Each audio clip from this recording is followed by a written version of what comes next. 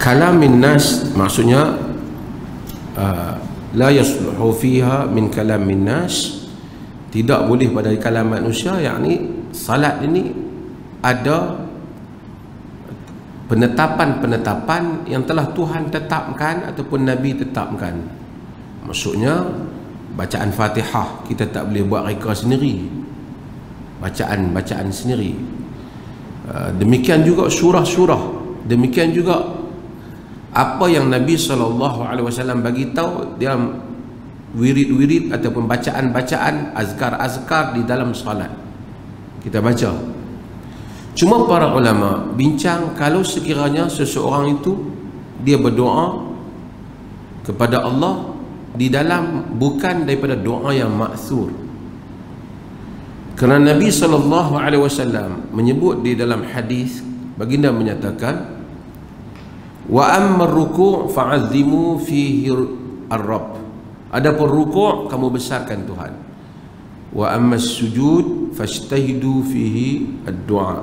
Adapun sujud kamu bersungguh-sungguh padanya doa. Kalau satu orang tu dia doa, tak usah kira tak apalah dia doa dalam bahasa Arab. Tapi doa dalam bahasa Arab yang dia doa tu pun bukan doa, bukan doa yang dia ambil daripada Quran ataupun daripada hadis umpamanya, tapi doa yang dia sendiri punya hajat. Boleh ke tak? Hatta kalau orang Arab, kalau dia doa-doa dia sendiri, artinya perkataan itu dia sendiri yang buat.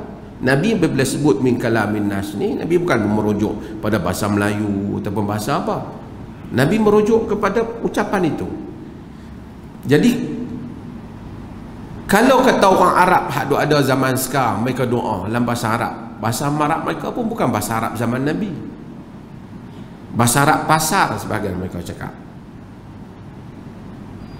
Para ulama bincang hal ini. Apatah lagi jika sekiranya orang tu dia tak mampu nak doa dalam bahasa Arab dia boleh bahasa Melayu ya. nak tak tahu dia nak doa ya Allah janganlah bagi suami aku ni ketegak sangat contohnya.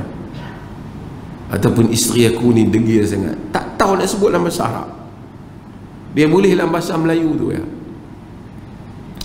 Dalam keadaan ini pandangan kita hal ini sama dengan apa yang disebut oleh sebagian para ulama seperti Syekh Abdul Aziz Abdullah bin Bas umpamanya.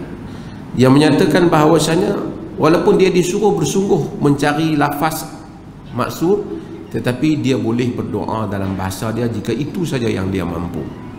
Tapi dia tak boleh mengambil ganti tempat-tempat yang sudah termaktub macam umpamanya Fatihah Fatihah kekal dalam bahasa Arab. Surah kekal dalam bahasa Arab seperti yang diturunkan, tak boleh buat ayat sendiri. Sebab apa kita sebut hal ni? Kerana ada qaul di dalam mazhab Hanafi dia kata siapa yang tak boleh Fatihah dalam bahasa Arab boleh baca boleh baca dalam bahasa Parsi. Pendapat ini ditolak oleh semua para ulama kerana kalau boleh dalam bahasa Parsi, bolehlah juga dalam bahasa Inggeris. Ini dianggap pendapat-pendapat yang agak ganjil di dalam mazhab. Tapi ini dalam mazhab Hanafi. Sebab Abu Hanifah itu sendiri dia dia Parsi. Yalah, bukanlah kata Abu Hanifah, alim jalil, imam kabir, la syak, imam great imam, no doubt. Tapi mungkin pandangan itu dinukil padanya sebahagian mungkin salah faham dalam nukilan dan seumpamanya tapi disebut dalam buku-buku fiqah dalam hal seperti itu okey apapun jika seseorang sujud dan dia doa kepada Allah antara dia dengan Allah dalam bahasa dia kerana itu saja upaya yang dia ada kita berpendapat sama dengan pendapat yang disebut oleh sebagian ulama boleh untuk diri dia.